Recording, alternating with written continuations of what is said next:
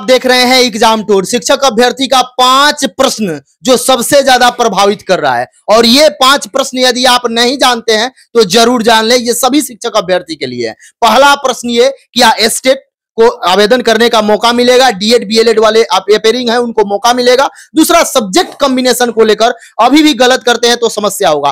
तीसरा भाषा को लेकर यदि आप कोई समस्या करते हैं तो भी समस्या होगा। चौथा ये है कि टाइम को कैसे मैनेज करें। पांचवा ये है सेट प्रैक्टिस कैसे करें। छठा ये है, यदि आप सिक्स टू एट भर रहे हैं या नाइन टेंथ भर रहे हैं, इसमें सब्जेक्ट कॉम्बिनेशन में क्या अंतर है? और एक साथ दो डिग्री वाले का जो समस्या है, उस पर भी चर्चा करेंगे। जो अटेम्प्ट को लेकर तीन अटेम्प्ट कैसे काउंट करेंगे? यानी कि सात से दस प्रश्न जो आप मेरे पास भेजे थे, उन सभी प्रश्न को एक एक करके नवीन सर से चर्चा करेंगे। ये वीडियो थोड़ा सा लंबा हो सकता है, लेकिन आपके जीवन के लिए बहुत ज़रूरी है। दो बूंद ज़िंदगी के लिए बोला जाता है तो यही वीडियो आपके जीवन के लिए। सर, आपका स्वागत है एग्ज़ाम जी बहुत बहुत धन्यवाद। पहला प्रश्न अटेम्प्ट को लेकर है। अभ्यर्थी कितना भी वीडियो बना लीजिए अटेम्प्ट कैसे काउंट होगा? इस पर करेंगे।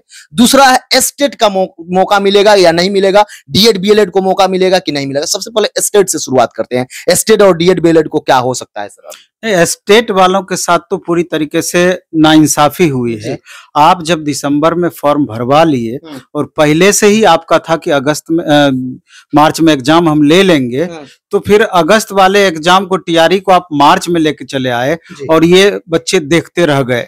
कहने का ये मतलब है कि निश्चित रूप से स्टेट अपेयरिंग को मौका मिलना ही चाहिए था क्योंकि सब बच्चे के दिमाग में अब ये चल रहा है कि पता नहीं टीआरई थ्री तो अब हम दे नहीं पाएँगे जो सरकार अपनी नीति रणनीति बना रही है।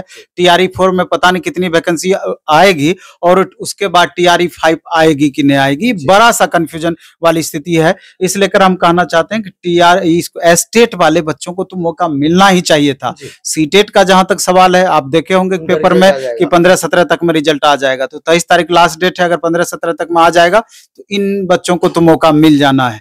बच जाता है उधर आपका डीएलएड अपेयरिंग वाले छात्र बी एड अपेयरिंग वाले छात्र उनके साथ भी उनके हिसाब से गलत हो रहा है। है उनके हिसाब से उनके साथ भी गलत हो रहा है। क्योंकि चालीस हज़ार लगभग डाइट में बच्चे पढ़ रहे हैं अलग अलग डाइट में। जी। तो उनको भी अब लग रहा है कि पता नहीं हम आ, पूरी तरीके से इस वैकेंसी से वंचित हो जाएँगे रह जाएँगे। तो कहीं ना कहीं जो गवर्नमेंट की बॉडी है जो ये निर्धारित करती है आ, इन सब बातों की समीक्षा करती है शिक्षा विभाग को उनको इन छोटी छोटी बातों पर क्यों नहीं ध्यान जाता है ये हमको समझ में नहीं आता है। इलेक्शन है उनको लगता है कि आ, इलेक्शन में अगर हम पूरा इसको फाइनल कर देंगे इतने बच्चे भी इग्नोर भी हो रहे हैं तो कोई बात नहीं हमको वोट मिल जाएगा। ये क्यों नहीं आप समझ रहे हैं? साढ़े तीन लाख अभ्यर्थी खाली एस्टेट वाले हैं। साढ़े तीन लाख अभ्यर्थी है। तो आपको तो इलेक्शन के दृष्टिकोण से फ़ायदा ही होता। जी। हाँ लेकिन ये बच्चे बहुत परेशान है। हम हाथ जोड़ करके विनती करते हैं शिक्षा विभाग से कि अभी भी कुछ नहीं हुआ है इन लोगों को मौका दिया जाए। आयु वाले विद्यार्थी भी कमेंट कर रहे थे, ये हुआ सवाल है, ये भी इस पर भी चर्चा करेंगे। सर, अब है बहुत सारे बच्चे ये हैं कितना भी सब्जेक्ट कॉम्बिनेशन को बता लीजिए। वो आते हैं अभी भी कई सारे बच्चे आए मेरा ऑनर्स पेपर ये है मेरा ऑनर्स पेपर वो है मैं क्या करें? सिक्स टू एट के संदर्भ में नाइन टेंथ दोनों के संदर्भ में सर कैसे नहीं नहीं जहाँ तक सबसे ज़्यादा जो क्वेश्चन होता है social science six to eight nine tenth के संदर्भ में। नाइन टेंथ की बातें हम बोले तो बहुत बच्चों को अभी भी लगता है कि अगर हमारा ऑनर्स पेपर इकोनॉमिक्स है तो इकोनॉमिक्स रखना ज़रूरी है। उनको लगता है कि ज्योग्राफी ऑनर्स है तो ऑनर्स में ज्योग्राफी एक पेपर हमको रखना ज़रूरी है। जबकि ऐसा नहीं है। रूल ये है कि वो आपका क्वालिफिकेशन देखा जाता है कि ऑनर्स और सब्सिडी मिला करके क्वालिफिकेशन आपका पूरा होता है कि नहीं होता है। ये चीज़ सिर्फ़ देखा जाता है। सब्जेक्ट का चयन आपके विशेषाधिकार या क्षेत्राधिकार में आता है।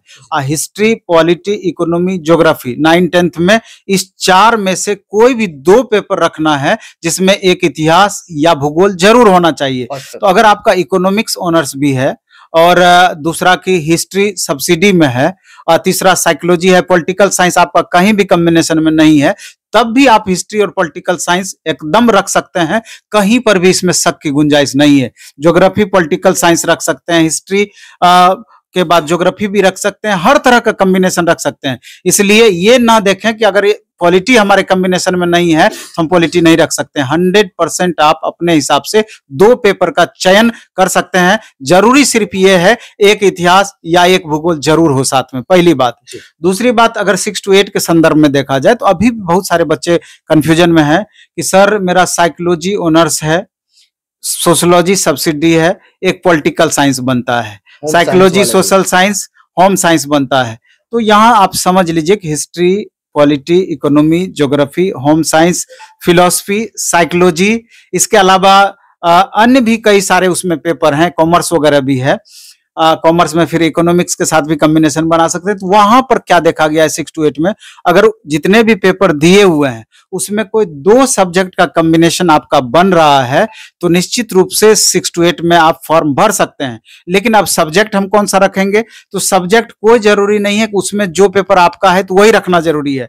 आप हिस्ट्री पॉलिटी इकोनॉमी ज्योग्राफी जो नाइन टेंथ वालों की स्थिति है, आपके लिए भी लागू होता है। हिस्ट्री पॉलिटी इकोनॉमी ज्योग्राफी में से दो पेपर का आप कॉम्बिनेशन बनाइए एक इतिहास या भूगोल ज़रूर रखिए। हिस्ट्री पॉलिटी भी रख सकते हैं, ज्योग्राफी पॉलिटी रख सकते हैं, हिस्ट्री ज्योग्राफी रख सकते हैं। मतलब आप कोई सा भी दो पेपर रखने के लिए स्वतंत्र हैं। तीसरा आता है लैंग्वेज को लेकर के। मान लीजिए कि टीआरई वन का अलग स्थिति था। टीआरई वन के टाइम में लैंग्वेज रखने वाली बातों पे ये होता था कि तीनों साल लैंग्वेज पढ़ा हुआ होना चाहिए। लेकिन उसके बाद क्या कर दिया नियम चेंज करके? कि आपका ऑनर्स अथवा सब्सिडी में अगर लैंग्वेज पेपर है कहने का मतलब है कि जैसे हिस्ट्री है पॉलिटी है इंग्लिश है। ज्योग्राफी है पॉलिटी है हिंदी है। मतलब एक भी लैंग्वेज पेपर ऑनर्स अथवा सब्सिडी में उसके बाहर नहीं ऑनर्स अथवा सब्सिडी में लैंग्वेज पेपर है तो लैंग्वेज को हम मुख्य पेपर के रूप में लेकर के आगे बढ़ सकते हैं। तनिक भी इसमें कंफ्यूजन नहीं है। सर अब कंफ्यूजन है अटेम्प्ट को लेकर। कुछ भी समझा लीजिए कुछ भी बता लीजिए अटेम्प्ट पर बहुत बड़ा टेंशन हो रहा है अभ्यर्थी को। कैसे इसको काउंट किया जाएगा? One to five six to eight nine tenth eleven twelfth सब। और एक समस्या इसमें है जो बच्चे पहले दे दिए हैं बीएड है और वन टू फाइव दिए वो सोच रहे हैं मेरा काउंट हो जाएगा एक अटेम्प्ट या उसको नहीं? उसको तो अतुल सर बोले थे नहीं नहीं उसमें आपकी गलती नहीं थी। टीआरई वन में जो आपने बीएड था वन टू फाइव दिया उसमें आपकी गलती नहीं थी और उस अटेम्प्ट से कोई मतलब नहीं है। जी। और अटेम्प्ट के मामले में इधर पेपर में कुछ कुछ न्यूज़ आया था, वो कंफ्यूज कर दिया स्टूडेंट को। तो हम स्पष्टतया बता देना चाहते हैं कि सबके लिए तीन तीन अटेम्प्ट काउंट होगा। वन टू फाइव के लिए तीन अटेम्प्ट सिक्स टू एट के लिए तीन अटेम्प्ट नाइन टेंथ के लिए तीन अटेम्प्ट अलेवन ट्वेल्थ के लिए तीन अटेम्प्ट और कुछ बच्चे ये आपसे पूछने आते हैं या हमसे पूछने आते हैं कि, सर, मेरा तीसरा अटेम्प्ट है, हमको एग्ज़ाम में बैठना चाहिए कि नहीं? सर मेरा दूसरा अटेम्प्ट है तैयारी बहुत अच्छा नहीं है। क्या हमको बैठना चाहिए कि नहीं एग्ज़ाम में? तो उनके लिए हम कह देना चाहते हैं। वैसे तो अगर ईमानदारी पूर्वक देखा जाए तो अटेम्प्ट रहना ही नहीं चाहिए। नो अटेम्प्ट होना ही नहीं चाहिए अटेम्प्ट जब आप कंपटीशन ले करके आप बच्चों का बहाली कर रहे हैं। एज भी क्राइटेरिया है। हाँ, नहीं नहीं कंपटीशन लेके बच्चों को आप फाइनली ले रहे हैं हम्म, तो फिर इसमें अटेम्प्ट का क्या मतलब है?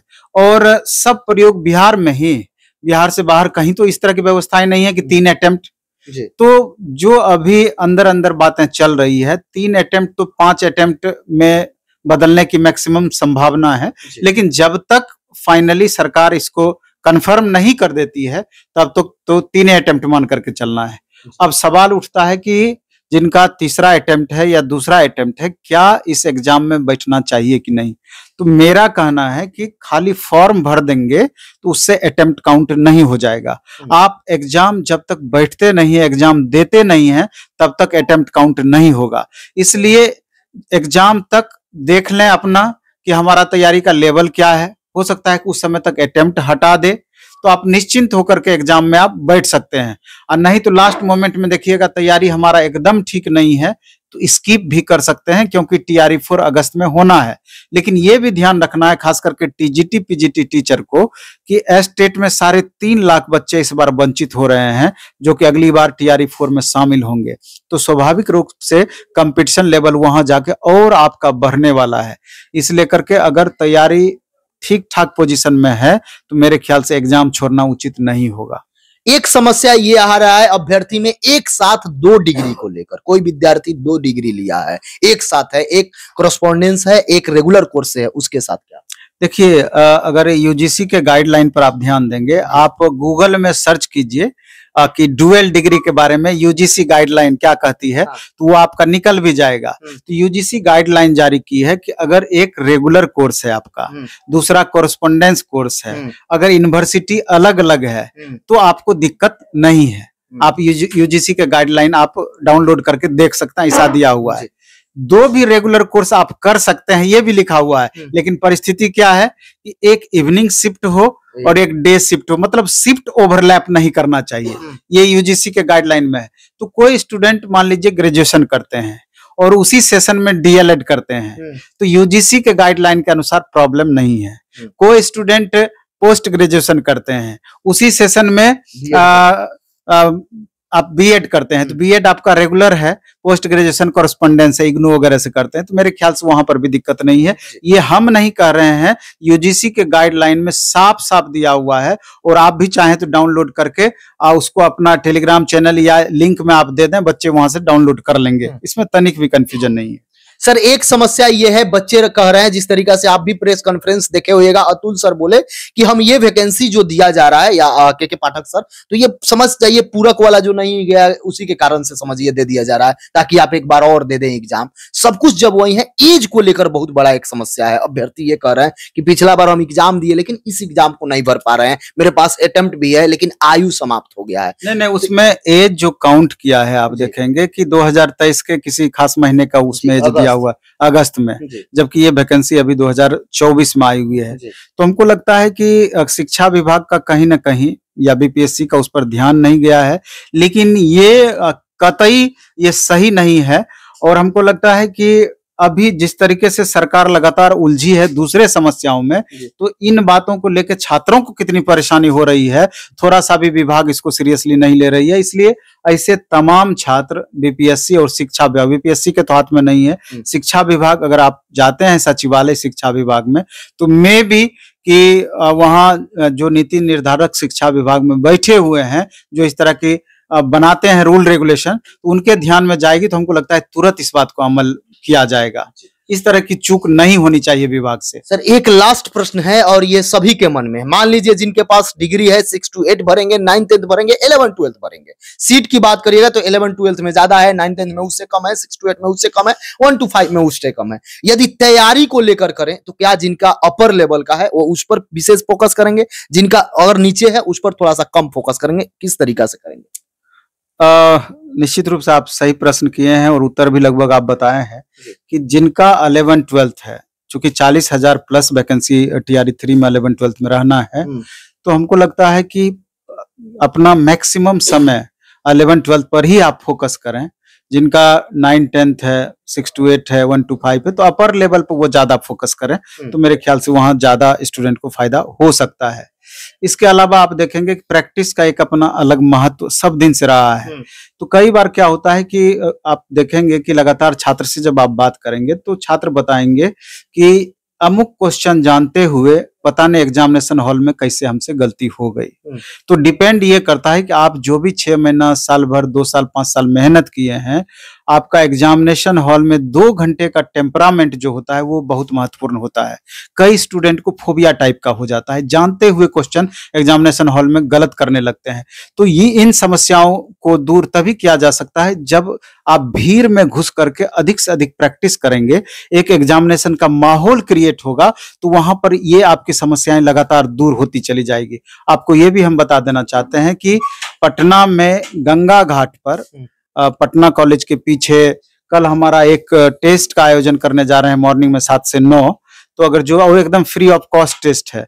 तो काली घाट या कदम घाट पे जो भी छात्र चाहें तो प्रत्येक रविवार को अभी वहाँ पर हमारा टेस्ट होगा। Six to eight one to five nine tenth. सबका टेस्ट होगा तो वहाँ आकर के फ्री ऑफ़ कॉस्ट टेस्ट में भाग ले सकते हैं और चूँकि अधिक से अधिक संख्या में छात्र रहेंगे, इसका बेनिफिट आपको मिलेगा। दूसरा क्या कि जो पटना के बाहर के छात्र हैं जो नहीं आ सकते हैं, हमारा टेलीग्राम चैनल है, प्लेटफॉर्म बाय नवीन कुमार सिंह। वहाँ पर कल के गंगा घाट टेस्ट का हम क्वेश्चन भी दस बजे के बाद उपलब्ध करा देंगे। उस क्वेश्चन को डाउनलोड करके घर पर भी आप प्रैक्टिस कर लेंगे और मंडे को जब हम रिज़ल्ट पब्लिश करेंगे तो उस रिज़ल्ट में अपना रैंक आप सुनिश्चित कर सकते हैं, देख सकते हैं कि हमारा रैंक वास्तविक में कहाँ पहुँच पाया। इससे भी बेनिफिट आपको होना है।